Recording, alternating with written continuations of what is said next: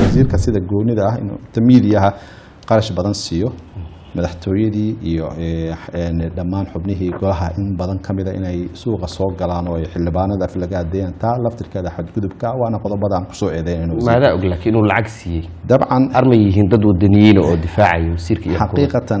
xaqiiqatan annaga waxaan ka hadlayno waa wax sida xildhibaano golo shacab aan nahay.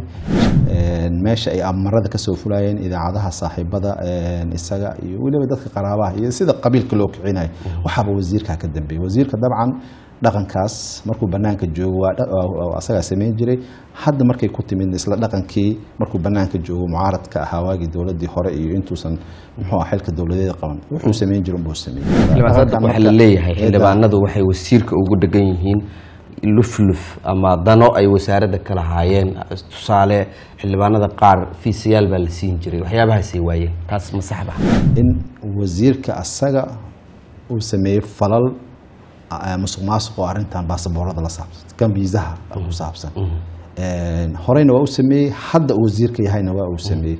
Maxaa marka waxaan rabnaa ciddii difaacan lahayd laakiin annaga waxaan ognahay golo ahaan xafiiskiisa inuu musuq maasuq badan galay weliba private companies uu xataa tasdiiqay ardadii meeshii ay dowladdu ka raadin lahayd lacag oo kale meelo kale ay shacabkii ku noqotay oo weliba waxaad xasuustaa meel tasdiiq labaatan dolar ay ahayd ilaa afartan dolar hadda in lagu muqallasnimada uu dadka xildhibaanada ku eedeynaya asagay ka soo bilowdaan asagayna ku dhammaadaan maamulkii dowladeed inuu asaga isku soo koobo asaga iyo afarta boorsado wada taana laftirkeeda waa xadgudub sharci waaye. Sharcigii service law ayuu ku xadgudbay wuxuu ku xadgudbay nidaamkii dowladeed ee diblomaasiyadda iyo kulli etoobiya dabcan ee dal daris waaye Arrimo badan oo naga dhexeyn waa jira isku khilaafsanna waa jira marka runtii in etoobiya een, loogu mamarsiyoodo waxyaabaha een, xildhibaanadu ay shirkooda jira ay ku sheegeen waa ayaan daro marmasiimaa etoobiya si toos ay xildhibaan saadiq badda soomaaliya ay ugu soo xadgudubto ilaa haddana ay u sheeganaysaa. Marka muwaadiniin baa tiin miyaysan ahayn in dagaalka dowladda safkeeda aada soo gashaan oo dhanka etoobiya wasiirku waxaa mudnaanta siiya waxaa waaye xadgudubyo badan iyo aflagaadooyin tiro badan ayuu xildhibaanada kula kacay simbal isdaad waxaa xasuustaa markii xildhibaano ani aan ku jiray aan press conference qabanay oo aan runtii kaga hadlaynay xaalad markaasayto dad mudaaharaade oo xaq u lahaa ay jeediyeen xildhibaano in la dilo ninkii soo jeedayay buu ahaa. Marka xaqna inuu leeyahay inuu hadalkaa dhaho laakiin etoobiya dabcan war-saxaafadeedkiina iyo kulankiina waxa uu u muuqday baa la leeyahay in etoobiya aad taageero u haydeen dadka aad sheegaysid oo reer koonfur galbeed si cad bay u taageereen etoobiya marka ka muwaadin ahaan miyuusan wasiirku arrintaas idinku dhaleeceyn karin? Anagu xaqiiqatan gardaro garab og ayaan aan- aan- aan wasiir fiqi baa hortii yiri. Wasiiro kalaa yiri agaasimayaal kale oo een, garab taagnaa oo ku faraxsanaa hadalkaas ayaa garab taagnaa. Een, whatsapp gurubyo uu madaxweynuhu ku jira laga abaabulayay gudoomiyaha gobolka banaadir ayaa banaan baxayo. Banaanka la taagnaa oo ma aha in een, colaad isteydyada gudahooda laga abuuro. Ma aha in beelaha soomaaliyeed la hubeeyo ama macawisley waxun si un u dhih. Ma aha in laysu hub aruursado laysu handado dalkan haddii madaxweyne ama dictatorial tendency la rabo in la aado waxaan u malaynayaa suurtagal ma aha madaxweynuhuna awooddeeda ma hayo. Madaxweyneyaal iyo dadka horeeyey kana dhaqaalahu badnaa ayaa gaarsiin waayay magaalada muqdisho keliya amnigeeda ayaan madaxweynaha uga fadhinaa. Waxa uu inta ku soo aruurinayaa xaqiiqatan mucaaradkii siciidani dabcan ujeed kasta ha laga lahaado laakiin dadka puntland dad ka garaadi aragti dheer waa in ciidamo gudaha dalka ee gudaha puntland lagu aruuriyo xamarna laga dacmiyo.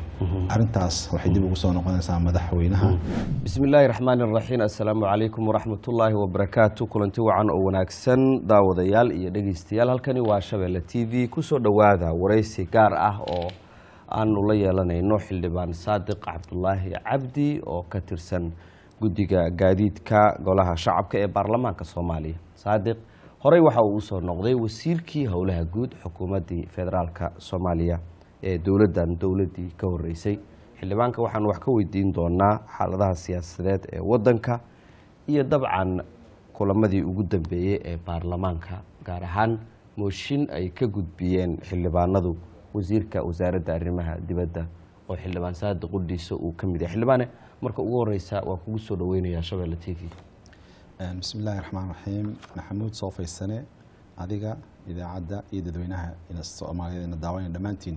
Waxaan idinku salaamayaa salaanta islaamka. Asalaamu calaykum waraxmatullahi wabarakatu waana dhowaa waa mahadsantahay xildhibaan saadiq soo dhawow dabcan waxaad ka mid tahay xildhibaanada hadda marka la fiiriyo. Haddii aan iraado oo carabka aanan kala gamban mucaaradka kuwooda ugu firfircoon. Mooshin baad gudbiseen. Ku dhowaad kontameeye xildhibaan oo aad ka mid tahay maxaad mooshinkaasi aada u cuskanayseen horta ugu horeyn bismi illaahi raxmaan raxiim marka hore waxaan rabaa inaan ka jawaabo mucaarad baad tihiin. Horta dabcan dowladda federaalka xubnaheeda waan ka ahay. Xubin ka mid ah golaha shacabka baarlamaanka soomaaliya. Dabcan baarlamaanku wuxuu isugu jiraa dad kala duwan oo deegaano kala duwan matala wuxuu matalaa guud ahaan shacabka soomaaliyeed si gaara deegaanadiina laga soo doortay. Marka dhaliisha in la sheego mucaarad maaha dhaliishu sideedaba waa toosin. Dowlad aan nahayn wax toosiya xaqiiqatan ma aha dowlad. Marka xaqiiqatan anagu waxaan nahay dowladdii federaalka wax aan dhaliisanahayna ma qarsano oo yani ma nihin dad oo dhaliishooda qarso marka xubno ilaa iyo afartan iyo lix gaaraya oo anigu ka mid ahay ayaa gudbiyey mooshin xilka xayoobin wasiirka arrimaha dibadda dabcan ma rabin aan ka hor dhaco. Galka dacwadda aanu wasiirka ku soo ognay. Way ay tiro badan yihiin. Waxaana ugu muhiimsanin xadgudubyo badan oo xagga sharciga uu sameeyey. Mid si toosa ugu sameeyey xildhibaanada. Mid muxuu ahaa runtii musuq iyo arrimo kale la xiriira. Marka dhammaantood waxaan la sugaynaa maalinta wasiirka u yimaado golaha shacabka oo aan filayn in dhowaan uu imaan doono. Laakiin dabcan inta wasiirka uusan imaan ka hor waxaa jirta mooshinkaas wuxuu dhaliyey dood aada u fara badan. Baraha bulshada ka dhaliyey dad badan baa idinku eedeynaya in wasaaradda arrimaha dibadda iyo dowladda oo xilligan dagaalka etoobiya ku jira inaad aad tafaraaruq iyo in wasiirkii aada buuq ku furaysaan. Dad baa idinku eedeynaya xitaa in etoobiya ay gadaal idinka riixayso. Marka si dadka ay u fahmaan xildhibaan bal hal iyo labo waxyaabaha sharciga uu jabiyey wasiirku maxay tahay? Intaanan arinta oo sharciga ah aanan ka hor dhicin dabcan waxaan la sugaynaa saan kuu sheegay maalinta aan golaha u yimaado wasiirka. Waxaa soo ifbaxayay dhaqan aada u foolxun oo dowladnimada aan ku fiicnayn. Wasiirku shalay ma imaan etoobiyana shalay ma imaan. Etoobiya colaad nagala dhexaysay aada bay u dheereyd maalin baheer bay soo maraysay wasiirkan waqtigii ka horeeyena waa jirta colaada asaga oo joogana waa jirtaa beri kuwa ka dambeeyana waa jiri doontaa marka colaada etoobiya iyo soomaaliya kala dhexaysa siyaasad midaysan oo soomaaliyeed oo soomaalidu ay dhan ka midaysan yihiin ayaa weligeedna lagu abaari jiray laguna socdaa. Marka wasiirka sida goonida ah inuu miidiyaha qarash badan siiyo madaxtooyadii iyo dhammaan xubnihii golaha in badan ka mida inay suuqa soo galaan oo ay xildhibaanada af laga adeeyaan taa laftirkeeda xadgudubka waana qodobada aan ku soo eedeyn maadaa og laakiin inuu lacag siiyey? Dabcan armay yihiin dad wadaniyiina oo difaacaya wasiirka iyo xaqiiqatan xaqiiqatan annaga waxaan ka hadlayna waa wax sida xildhibaano golo shacab aan nahay. Shacabkaas soomaaliyeed guud ahaan ayaan u danqana aan u doodnaa dhaliisha dowladdana waa sheegnaa wixii wanaagsanna waa sheegnaa. Hadday nala gaartana golahan keennaa ilaa aan gaarsiino xilka xayoobin marka wasiirka maalintii aan eedeyntiisa keennay meesha ay amarada ka soo fulayeen idaacadaha saaxiibada isaga iyo weliba dadka qaraabaha iyo sida qabiilka loo kicinayo. Waxaaba wasiirka ka dambeeyey wasiirka dabcan dhaqankaas markuu banaanka joogo asagaa samayn jiray. Hadda markay ku timid isla dhaqankii markuu banaanka joogo mucaaradka ahaa waagii dowladii hore iyo intuusan muxuu ah xilka dowladeeda qaban. Wuxuu. Samayn jira unbuu sameeyey. Dowladdan hadda joogto mucaarad ku ahaa kii maxamed cabdullahi farmaajo ku ahaa xasan sheekh tirimkiisii hore. Dabcan haddii banaanka la soo dhigana dabcan meeshii ayuu ka sii wadaa. Waxaa la leeyahay xildhibaanadu waxay wasiirka ugu dhegan yihiin lufluf ama dano ay wasaaradda ka lahaayeen tusaale xildhibaanada qaar fiisayaal baa la siin jiray. Waxyaabahaasay waayeen. Taas ma saxba waa qalad taas waa gef kale. Runtii waxaan kuu sheegay afartan iyo lixda boqolkiiba sideetan xildhibaanada qoray maalinna telefoonkiisa inaysan wacan baan ama aysan xafiiskiisa aadin ama aysan wax dukumenti ugu tegin anaa ka mid a aniga maalinna wasiirka xafiiskiisa ma tegin mana wacan. Waxa aan muxuu ahaa waxa uu sheegaya oo dhanna runtii waa wax asaga ku soo noqonaya. Waxaan haynaa si cad in wasiirka asaga uu sameeyey falal ah, musuq maasuq oo arrintan baasaboorada la saabsan kan viisaha ku saabsan Een, horeyna waa u sameeyey hadda wasiirka yahayna waa uu sameeyey Maxaa marka ka mid? waxaan rabnaa ciddii difaacan lahayd golahay joogtaa maxaa golaha ka mid keen. ma dad Een, buu hadda waxa sharci in badan dadku wuxuu ku eedeeyaa in xildhibaanadu ay muqallasiin yihiin oo ay dad xambaaraan. Naguma jiro xildhibaan hadda liiskaa ku jira. Haddii uu jirana waa hal iyo labo laakiin isagaa og. Laakiin annaga waxaan ognahay golo ahaan xafiiskiisa inuu musuq maasuq badan galay weliba private companies uu xataa eh, tasdiiqay ardadii meeshii ay dowladdu ka raadin lahayd lacag oo kale meelo kale ay shacabkii ku noqotay oo weliba waxaad xasuustaa meel tasdiiq labaatan dolar ay ahayd ilaa afartan dolar hadda in lagu baxsho. Marka waxaasoo dhan wasiirka ayay ka bilowdaan asagayna ku soo dhammaadaan muqallasnimada uu dadka xildhibaanada ku eedeynaya asagay ka soo bilowdaan asagayna ku dhammaadaan Een, maamulkii dowladeed inuu asaga isku soo koobo asaga iyo afarta boorsado wada. Taana laftirkeeda waa xadgudub sharci waaye. Een, sharcigii service law ayuu ku xadgudbay. Wuxuu ku xadgudbay nidaamkii dowladeed ee diblomaasiyadda iyo kulli qaab eexa jeclaysa qabiila. Systemkii dowladda oo dhan wuxuu ku soo biiriyey dad aan khibrad lahayn oo weliba dowladda u soo shaqeyn iyagaa diblomaasiyiinta dowladda matalaysa oo dibadda. Ah marka madaxweynaha iyo wasiirkiisa arrimaha dibadda intuba waa arrintaa eedda waa wada leeyihiin laakiin wasiirku dhaqanka wasaaradda ku soo kordhiyey waxay tahay waa dhaqan runtii foolxumo ah oo aan loo sii dulqaadan karin. Taana ayaa kaliftay in golahu ka dhiidhiyo xildhibaanada gudbiyey oo waktigaas keliya seexaya afartan lix gaarsi haddii golaha la keena in codka kalsoonida dabcan annagu sharci baa nooga yaalla. Wasiirkii awaamirta dowladda diida. Golaha shacabka inuu yimaado diidaan ka wadaa. Een, isagoo maqanaa xilka xayoobinta lagu samayn kara taa sharci baa ka yaalla qodobka toddobaatanaad ee dastuurka ayaa dhigaya marka laakiin si afartan iyo lix xildhibaan ma ku filanta? Een, haddii inta kale idinka soo horjeedaan ka hor.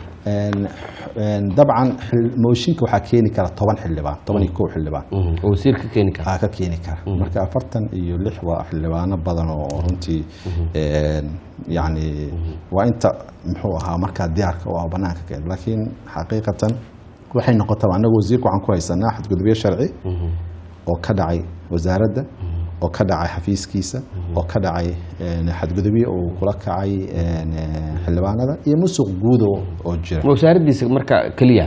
Wasaaradaha dowladda oo dhan ayay ka jiraan. Anigu waxaan ka mid ah guddiga gaadiidka. Waxaa ka mid ah dholalkii dowladda oo marar badan aan ku eedeynay maxaa marka xilligan wasaaraddii arrimaha dibadda taarget aad uga yacni xildhibaanadu xaq bay u leeyihiin mudnaanta midda ay siinayaan wasiirku waxaa mudnaanta siiya waxaa waaye xadgudubyo badan iyo aflagaadooyin tiro badan ayuu xildhibaanada kula kacay that waxaa xasuustaa markii xildhibaano ani aan ku jiray aan press conference qabanay oo aan runtii kaga hadlaynay xaalad markaasayto dad mudaaharaade oo xaq u lahaa. Ay jeediyeen. Xildhibaano in la dilo ninkii soo jeedayay buu ahaa marka xaqna inuu u leeyahay inuu hadalkaa dhaho laakiin etoobiya dabcan war-saxaafadeedkiina iyo kulankiina waxa uu u muuqday baa la leeyahay in etoobiya aad taageero u haydeen dadka aad sheegaysid oo reer koonfur galbeed si cad bay u taageereen etoobiya marka ka muwaadin ahaan miyuusan wasiirku arrintaas idinku dhaleeceyn karin? Annagu xildhibaanaan dowladeedna nahay waaya xildhibaano guud oo shacabka matalaan nahay xildhibaano deegaanadaas matalaan nahay. Dadkaasna waa waa dadkaan anagu kuraasta siyaasadeed aan ku bedelno. Een, xarunta siyaasadda ee magaalada meeshay aadan waa la aadaysa. Een, maya. Een, annagu press conferencega annaga aan sheegnay meel aan dowlad magaceeda ku xusnay ma jiro.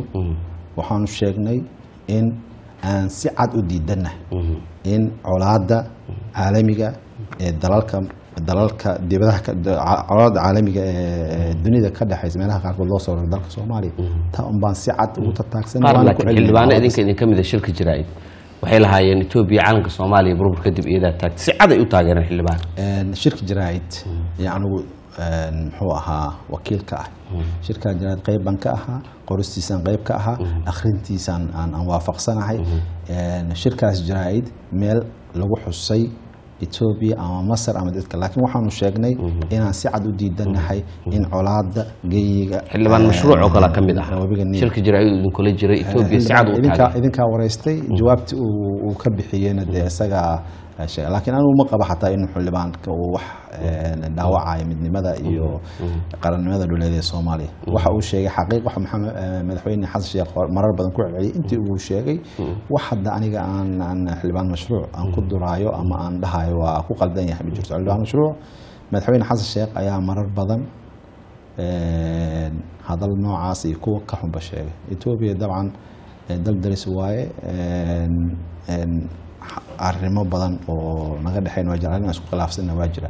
Marka runtii in etoobiya loogu mamarsiyoodo waxyaabaha een, xildhibaanadu ay shirkooda jira ay ku sheegeen waa ayaan daro marmarsiimaa etoobiya si toos ay xildhibaan saadiq badda soomaaliya ay ugu soo xadgudubto ilaa haddana ay u sheeganaysaa. Marka muwaadiniin baa tiin miyaysan ahayn in dagaalka dowladda safkeeda aada soo gashaan oo dhanka etoobiya marar badan baan sheegnay si cad baan u sheegnay miidiyaan soo istaagna shakhsi ahaan marar badan ka hadlay. Arinta etoobiya waa xadgudub waana ku celinaynaa waana sheegnay. Taa meel kaba dhibcaan inoo taagan tahay oo annagu marna etoobiya safkeeda ma noqon. Ciddii markaa rabta inay nagu riixdana. Dabcan iyadaa hore ula soo shaqaysan jirta iyadaana hadda la shaqaysata iyadaana beri la shaqaysan doonta marka dadka anagu matalno iyo annaga marnaba qayb kama noqon. Wax dadka iyo dalka soomaaliyed kala geynaya laakiin waxa meesha yaalla oo dhaba oo aan rabno inaan ummadda soomaaliyed u sheegno waxa waaye een, yacni oohinta orgigii ka weyn. Madaxda qaranka marar badan iyagaa meela aan la tegin jigjiga madaxweyne xasan sheekhaa tegey iyadoo een, eh, madaxweyne soomaaliyeed oo ka horreeyay uusan tegin. Iyagaa meeshaa ku soo dhaantay jira wuxuu doona soo samayn jiray isagaa qaladaadka badan oo dowladda dhinaca midnimadiisa geys laakiin waxaan kuu sheegayaa etoobiya xadgudub oo dhuleed badeed ayay dalka soomaaliya geysay baarlamaankii baa anagu si akhlabiyada aan muxuu ahaa cod ugu qaadno resolution ugu qaadno inaan xataa lala fadhiisan karin ilaa etoobiya ay ka noqoto een, heshiiskaas ay gashay. Laakiin madaxweyne xasan asaga kenya la tegay shirkaas shir dib u heshiisiina oo oo etoobiya iyo asaga u dhexeeya. Si la mid ah turkiga marka labaad buu tegay. Marka annagu weliba waxaan taariikhda baarlamaan ahaan galnay yacni gef runtii aan u arko inaan samayn in annaga oo arag heshiis muxuu ahaa dowladda soomaaliya iyo dowladda turkiga ay galeen. Anagoon akhrin baan gacanta u taagna wax ku qornaanana ka see madaxweynaha anaa idiin akhriyey anaa muxuu ahaa og midnimada iyo siyaadada dhuleed iyo badeed ayaa etoobiya ay nalaga difaacay turkiga naga difaacay etoobiyana muxuu ahaa arrintaasi ku wajahneyd buu markaa noola imaa anagoo markaas xamaasaysan oo arrintaas sida uu madaxweynaha u sheegay wixiina wax ka duwan baa maanta arkayna in haddana turkiga ay ka qayb tahay wadahadaladii een, haddana masar la aaday heshiis kale lala soo galay. Marka madaxweynaha asaga boorsooyin badan iyo m o u tiro badan oo amni dalal kala duwan la soo siixday baarlamaanka ha keenan. Leena waa ku celinaynaa mar dambena ma dhaceyso inaan waxaanan arkin ansixino Eh, xildhibaan eh, saadiq waxaad ka soo jeedaa oo aad ku matashaa baarlamaanka jubbaland. Dabcan koonfur galbeedna waad ka soo jeedaa oo dadka aad ku abtirsatid meeshaasna way degaan. Waa maamulka ugu weyn. Labadaas maamulba ciidamo etoobiyaana jooga. Joogitaanka ciidamada etoobiya sidee u aragtahay maamuladaas horta marka ugu horeysa aniga waxaan ka soo jeedaa jubbaland. Waxaan beel ahaan ka soo jeedaa beelaha digli marfle beel weyn oo dalka soomaaliya meelo badan ka degta. Jubbooyinkay degaan geday degaan shabeellaha hoose degaan eh, gobolka baayna way degaan. Marka een, xaq baan u leeyahay maadaama aan ahay beeshii eh, xildhibaankooda inaan ku matalo kuwa daafeed kuwa baydhabo kuwa eh, gedo kuwa kismaayo jooga iyo kuwa magaalada muqdisho iyo waxa qof kasta oo arintaa eh, si guudna soomaalida guudna xildhibaankoodii su'aashaada waxay ahayd sideed u aragtaa. Ciidamada jooga maamulada. marka eh, dabcan etoobiya waxay ku timid mareelada amisom ama atmis mandeed koobanay haystaa mandeedkeedu inuu dhammaanayo ayaa naloo sheegay. Go'aanka dowladeed oo anagu aan ka midna anigu aan ka mid ahay madaxweynaha iyo golayaasha kulli waxaan qabnaa haddii laysku raaco in etoobiya ay baxdo eh, there is no way annaga aan ku difaacno. Etoobiya mana difaaci jirin mana difaaci doono. Laakiin waxaan rabnaa inay eh, siyaasad loo dhan yahay. Da- dalku waa federaal waxaa la isu keenay eh, dowladdii federaalka waxa isu keentay state isu yimid oo arrimo iyo nabadda iyo dowlad ka wada shaqaynaya ayay ku ogantay tii ayaan rabnaa in nabaddii iyo dowlad dhiskii lagu dhiso. Arrimihii amniga iyo xasilintii Marka siyaasad guud- loo dhan yahay in Marka Ethiopia siyaasad dalka uga dowladda- baxdo. ha, loo dhan yahay laakiin waxaan dareemaynaa madaxweynuhu dan siyaasadeed oo doorasho ah inuu u isticmaalo hub siyaasadeedaan diidanahay danaha doorashada iyo danaha amniga guud iyo xasilinta guud way kala duwan yihiin. Madaxweynuhu waxa uu rabaa afgembi guud oo uu rabo maamul goboleed inuu ku qabsado waxa uu rabaa afgembi guud oo doorashada ah. Een, wuxuu rabaa mid dastuurka ah. Taana runtii een, hortii jiraa waaye. Ma dhici doonto. Waxaan aaminsanahay madaxweynuhu tallaabo kasta oo qaa- uu qaaday labadii sano ee la soo dhaafay saddexdii labadii sano ee marka la soo dhaafay kulli fashil bay ku dhammaadeen howlgalkii amniga ee lagu soo celina ee dagaalkii ee stage one stage two-ga lahaa ee la dagaalanka argixisada madaxweynuhu hal sano ku sheegay inay ku dhammaanayaan. Dhul badan baa lagu laakiin. xaqiiqatan waxaasi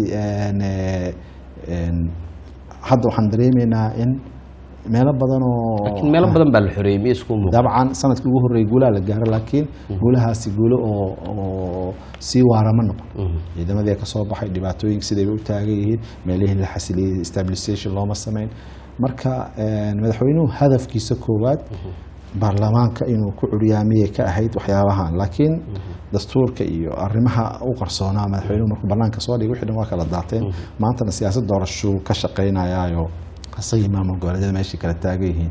Yaa tusaale kuugu filan. Eh, dabcan koonfur galbeed iyo dowladda soomaaliya xiriirkooda hadda waan ognahay. Eh, tuhunaa jira iyo kala shaki. Eh, xildhibaano badan baa loo diiday inay ka dhoofaan garoonkan oo baydhabo ay tagaan. Eh, hadallo qadaf ah baa jira oo dad mas'uuliyiin ka soo yeeray oo eh, loo tirsiinayey eh, koonfur galbeed. Arrimahaas markaad eegtid dadka aada matashid ee koonfur galbeed iyo dowladda xiriirkooda hadda ka hor.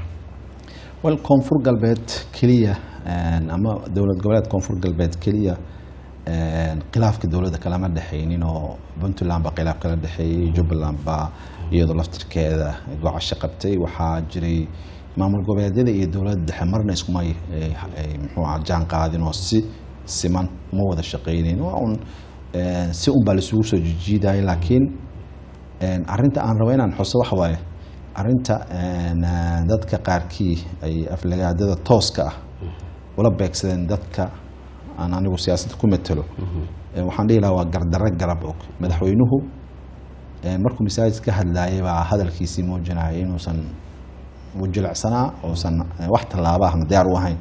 Marka waxaan aaminsanahay madaxda qaranka madaxweynuhu ugu horeeyo inay qeyb ka ahaayeen aflagaadada in shacabka loo geyso haddii dareen iyo dadnimo iyo iyo iyo ugu arko arrintaa inay gaf tahay madaxweynuhu tallaabu qaadi lahaa. Taa ma dhicin hay'adaha amnigana ma samaynin. Laakiin wuxuu yidhi siyaasiga aragtidiisuu ku hadlay. Anigu in dad la ii caayo kama talin. Hadalkiisa mid ah. hadalkiisa hadalkiisa wuxuu saddex dembi baa ka dhalanayay dembi waxaa ka dhalanayay in aan qofka wacel keliya la dhihin oo la yidhi waa dhashii etoobiyaanka dumarkoodii baa etoobiyaankii faraxumeeyeen ama ay muxuu ahaa kow waxa waxaa loo saaray inay yihiin dhashii etoobiyaanka wacelo keliya lama dhih laba waxaa la yidhi xilligii dowladdii dhexe dowladdii cabdullaahi yuusuf. Ah. Een, cabdullaahi yuusuf iyo iyo muxuu ahaa dowladdii waktigaa joogtayna waa loo saaray dembi kale loo saaray.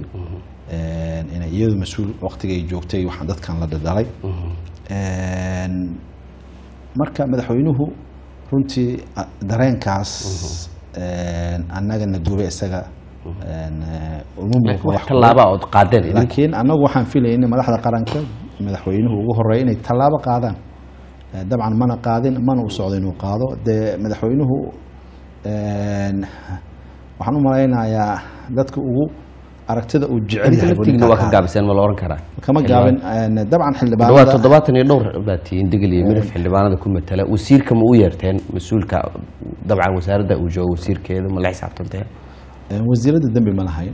Wasaaradda laakiin anagu xaqiiqatan gardaro garab og ayaan aan- aan- aan wasiir fiqi baa hortii yiri wasiiro kalaa yiri agaasimayaal kale oo een, garab taagnaa oo ku faraxsanaa hadalkaas ayaa garab taagnaa. Een, whatsapp gurubyo uu madaxweynuhu ku jira laga abaabulayay gudoomiyaha gobolka banaadir ayaa bannaan baxayo.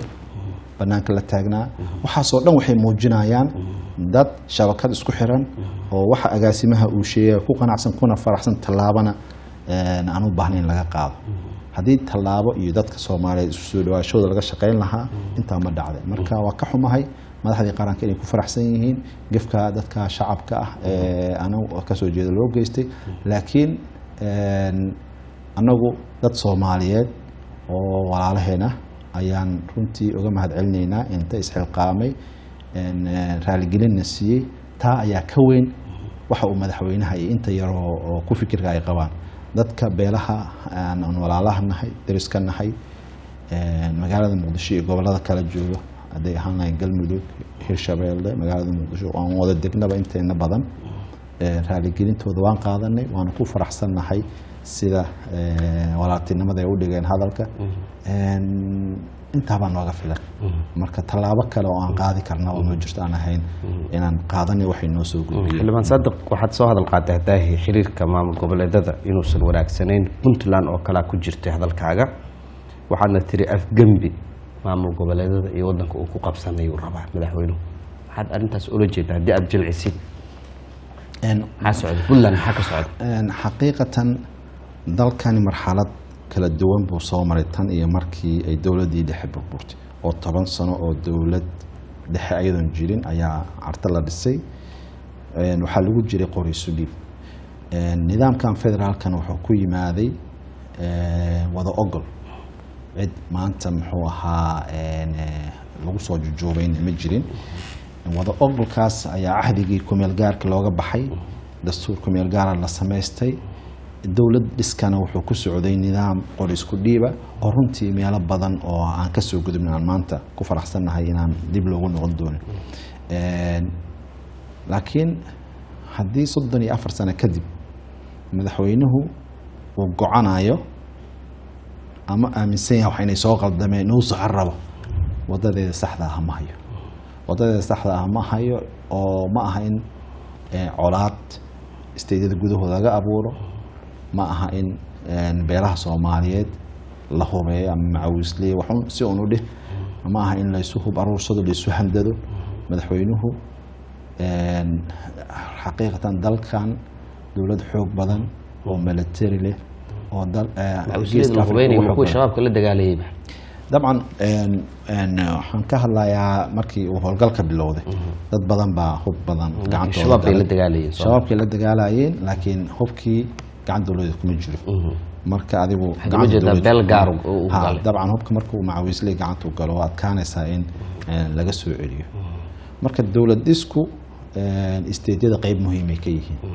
Sidaan kuu sheegay dowladda federaalka waxay ku dhisantay wax la isku daray oo isteedya soomaaliyeed ay heshiis bulsho dastuurka iyo nidaamka dowladda dhexe in wax lagu kordhiso lagu gaaro nidaam dadka soomaaliyeed gaarsiiya inay xor u yihiin inay madaxdooda dooran karaan. Tii marka dariiqeedii madaxweynaha mid ka duwan ayuu hayaa.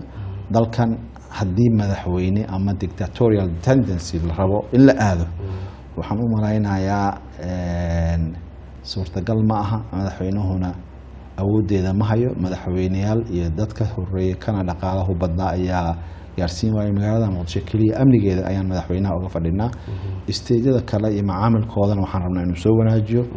Dalkan soomaaliyeed xaaladan wuxuu ku gaaray een, wada ogol iyo in dadka soomaalida isu jiido. Laakiin sida hadda wax ku socdo madaxweyne wax ka wado waxaan malaynayaa in xaaladda uga sii dari doono. Madaxweynaha puntland ayaa dhowto waxa uu codsaday wadahadal weliba mid furan oo dowladda dhexe uu la galo.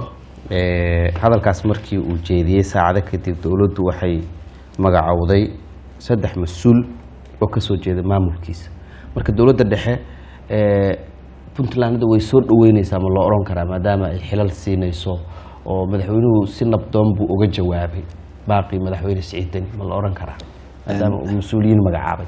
madaxweyne xasan sheekh inuu xilka jamhuuriyadda soomaaliya markale ku soo maxamed cabdulaahi saciid dani ayaa mas'uuliyaddeeda koowaad lahaa. Een, isaga platformka ugu fiican u sameyn jiray isagayna saaxiib ahaayeen. Maantana isagay dad isugu necab yihiin. Siciidani waxaan xasuustaa annaga oo joogna garowe in uu si official ah madaxweyne xasan sheekhna uu joogo inuu gogol nabadeed degay. Jawaabtiina madaxweynaha laga sugaayay madaxweynihii gogoshaas u faaruqiyay ilaa haddana jawaab uu siinin mar labaadna inuu garnaqsado oo uu, eh, dowladda federaalka haddana eh, madaxweynuhu inuusan diyaar u ahayn buu muujiyey. Waxa uu inta ku soo aruurinayaa eh, xaqiiqatan mucaaradkii siciidani dabcan ujeed kasta ha laga lahaado laakiin dadka puntland dad ka garaadi aragti dheer waa in ciidamo gudaha dalka ee gudaha puntland lagu aruuriyo xamarna laga dacmiyo. Arrintaas waxay dib ugu soo noqonaysaa madaxweynaha dowladda federaalka. Waxaad ula jeedaa taliyaha ciidanka booliiska la magacaabay. cid kasta uu isticmaalo. Anigu waxaan aaminsanahay wax uu walaalo ku waayo xoog iyo iyo xeelad kale kuma heli doono. Een, madaxda qaranka waxaa looga fadhiyaa iyagana mas'uuliyadda koowaad ay ku dhacaysaa. Ma aha mid kuwa maamul goboleedyada madaxweynuhu waxaa mas'uuliyadda koowaad ay ka saaran tahay. isu keenidda wada shaqaynta iyo iyo is-aaminaadda ee, dadka soomaaliyeed ay ugu horeeyaan isteedyada madaxdooda iyo dadkooda. Isteedyada laftirkooda waxaan rabnaa in iyagu laftirkooda wixii khilaafka gudahooda ahna ay iyagoo midaysan midaysan waxaad sheegtay in ciidamo kale oo soomaaliyeed in la geeyay puntland xilligan in munaasabaysan ahayn. Dabcan anagu meel lagu yiri warkaas ama dowladdu ay ku cadaysa ma jirto marka. Waxyaaba aad og tahay baa jira adigu anigu saa uma dhigin hadalka. Ciidanna ma ogi puntland la keenayo dabcan haddii la geeyana xataa wax badan oo ay micno ay ma jirto. Xagga dowladda iyo nidaama ka dhisan ciidan admis iyo ciidan federaala ma joogo. Een, dadka soomaaliyeed ee halkaa degana dad dhaqan ahaan iyo siyaasad ahaan dhaqan ahaan iyo kulli horumarsan oo ilbaxsan oo yacni development u dhaqaaqay recovery ka baxay waaye. Laakiin waxaan aaminsanahay siyaasad kasta oo laga leeyahay in wax lagu dumiyo. Waxaa loo adeegsanayaa ciidan dabcan. Eh, taana waxaan u malaynayaa meelo badan ayaa looga guuldaraystay hadday noqon lahayd haddii inta ciidan eh, xagga jooga dabcan waxaan maqlaya bosaas ciidamo eh, markii taliyaha ciidanka. Ah Ah, booliiska. ciidan uu taliyo u ahaan jiray oo Ah, hadda Puntland la- horjeeda. marka whatsoever the case waxaan qabaa een, nabada naas la nuugale Een, taliyaha ciidanka booliiska soomaaliyeed nin soo shaqeeyey dhalinyaro ah dadkiisa aan xumaan la jeclayn laakiin hadda sida muuqata xildhibaan laba mar tartamay ah, taliyaha booliiska asad cismaan diyaano xisbiga ugu weynka waa ninka aadka hadda ay isku hayaan siciidani ciidamo uu isagu taliyo uu ahaa oo muddo dheer uu hogaaminayay baa jooga boosaaso lama shaqeeyaan ciidanka puntland. Waa dhaweyta airboortka oo qallalaasaa ka dhacay ee magaaladay qeyb ka joogaan. Marka madaxweynuhu inuu ninkaas u magacaabo taliyaha booliiska xilligan tuhunada jira iyo waxyaabaha laga hadlaayo waxyaabo bilow u ah weyso lama oran karo. Wel ah, hadalkayga saan ku bilaabay madaxweyne xasan sheekh iyo saciid cabdulaahi dani laba qof oo saaxiiba dad isaga dhow ay ahaayeen. Madaxweynahana xaq buu u leeyahay cidduu doono inuu taliyaha booliiska u magacaabo. Een, dabcan taliyaha ciidanka booliiska ee hadda iyo saciid cabdulaahi dani iskuma fiicna laakiin taa macnaheeda ma aha. Dadka aragtida puntland ay aaminsan yihiin inay ku kala tagsan yihiin. Dadka puntland waa saan kuu sheegay dad ka sareeya dhinaca muxuu ahaa dowladiska iyo macnaha dad runtii garaad ahaan ka sareeya wax dadka qaarkii ay ku fikirayaan waayo ba- maadaama waxaad xasuustaa in markii madaxweynuhu uu ka sheegay inay ku burburayso afar iyo labaatan cisho si isku duubni ah ay uga baxeen. Arrintiina ma dhicin dadkiina waa eh, wixii hadal oo dhacay oo dhan si waxay uga gudbeen. Oo runtii mudan oo isku duubni ah. Isku duubni iyo qaybihii dambe ee barnaamijkan soo gaarnay marka aad fiiriso hadda wadanka meesha uu u socdo iyo fafaalaha muuqda ee doorashooyinkii maamul goboleedyada dabcan waxaa muddaa in waktigii uu- la dhaafay waxba aan socon.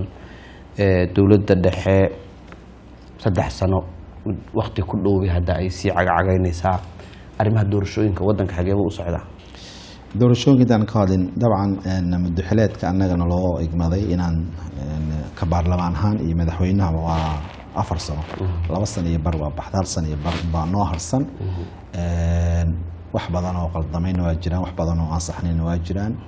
Een, arrimaha doorashooyinka si gaar ah een, dabcan n c c baad ka dhawaajisay. Waa imaanayaan dabcan. Shir baa hadda loo madlan yahay isbuucan soo socda waxaa laga yaabaa inay berri iyo berri dambaba imaadaan magaalada. Laakiin wararka aan helayno xaqiiqdii ma aha war ee, dadka soomaaliyeed farxad gelinaya. War dhiila xambaarsan waaye oo ah in eh, yani extension kale la qaadan doono.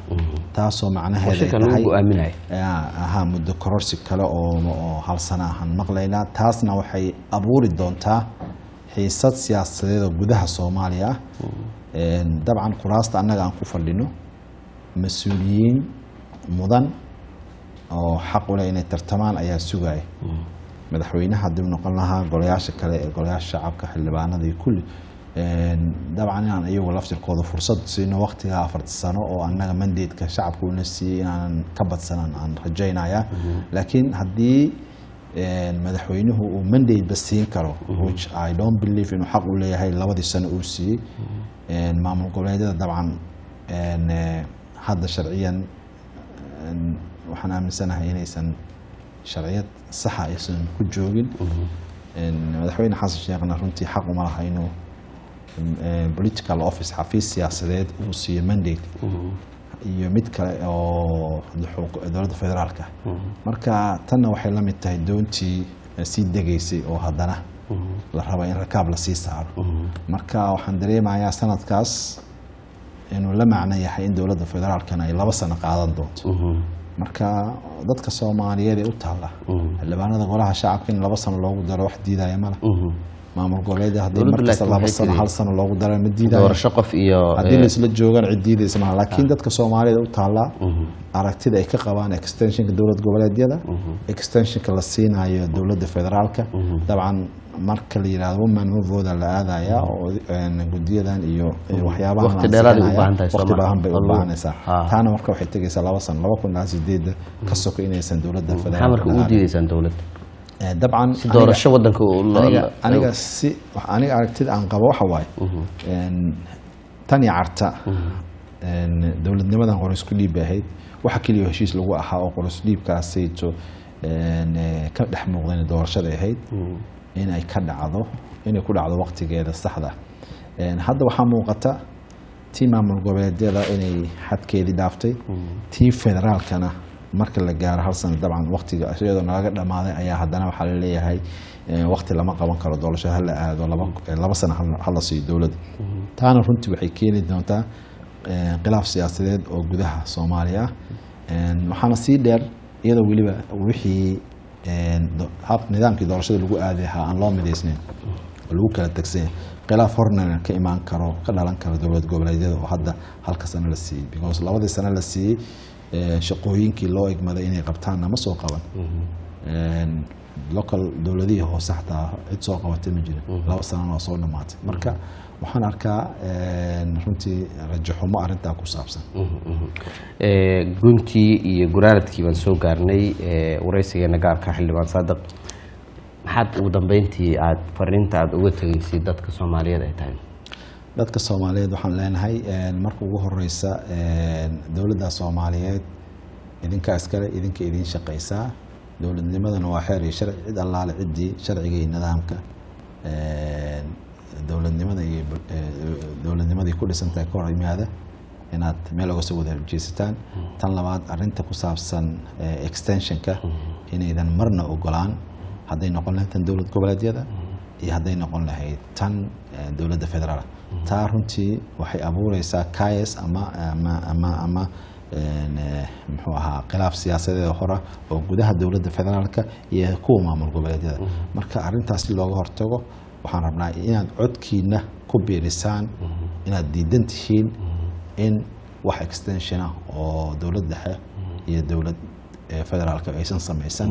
Sida hadda muuqata haddii shirka n c c dhaco waxaa dhici doonta in muddo hal sano ah in la siiyo taasna waa sharci darro. Madaxweynuhu xaquma laha? Maamul goboleedyada. Ninkii maanta ku siiyey berina waa kaala noqon karaa.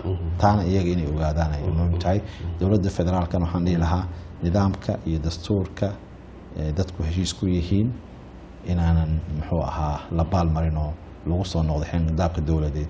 Taas baan ku talin lahaa. Aad iyo aad buu u mahadsan yahay. Kaasina waxa uu ahaa xildhibaan saadiq cabdulaahi cabdi oo ka tirsan baarlamaanka golaha shacabka ee soomaaliya gaar ahaan guddiga gaadiidka wareysiga gaarka xildhibaane iyo booqashadaada aad baan kaaga mahad celinayna Thank you very much. Aad waa mahadsanta.